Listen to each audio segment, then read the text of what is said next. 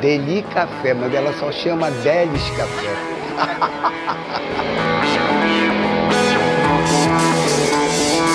Bom dia, meu nome é José Luiz, eu trabalho e sou gerente administrativo do Deli Café, o proprietário de uma maneira.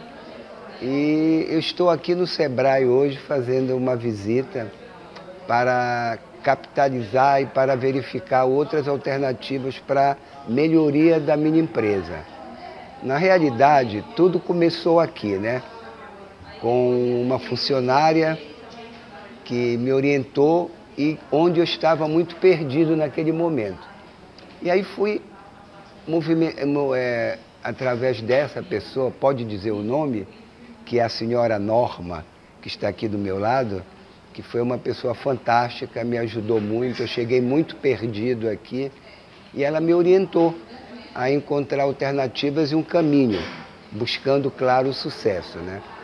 E graças a Deus, hoje o Deli Café, que era um MEI, Hoje já é microempresa, tinha dois funcionários, agora tem seis funcionários, né? durante um ano de trabalho.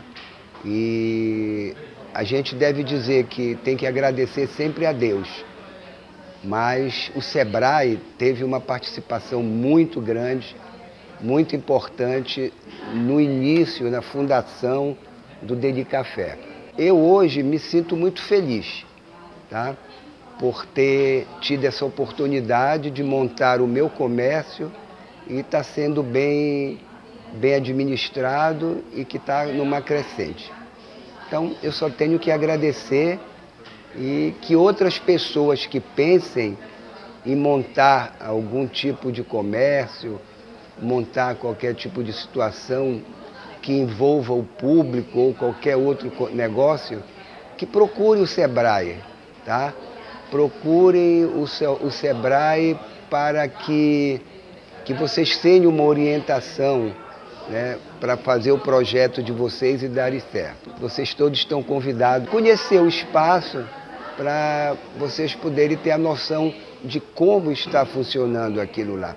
Ele está situado na Magalhães Barata, próximo ao Cindo Cacela, é, em frente ao Hospital Santa Terezinha, do lado do posto Ipiranga. Muito obrigado aí. E vocês todos estão convidados a ir lá tomar aquele cafezinho saboroso.